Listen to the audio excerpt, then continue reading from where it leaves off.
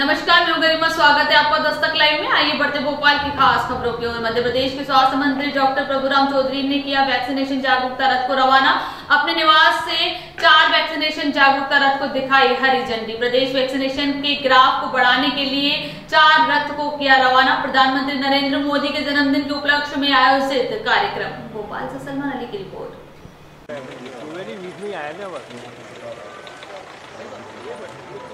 अरे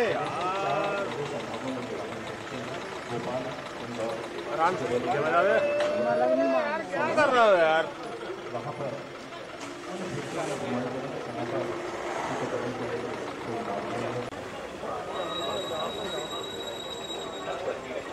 और डॉक्टर के परामर्श अनुरूप दवाइयाँ कोरोना वायरस के लक्षण दो से चौदह हमारे पुलिस के अपनी जान से कर रहे हैं ऐसे में कुछ मैं सबसे विनम्र हूँ है। व्यक्ति या वस्तु के संपर्क में आने से यानी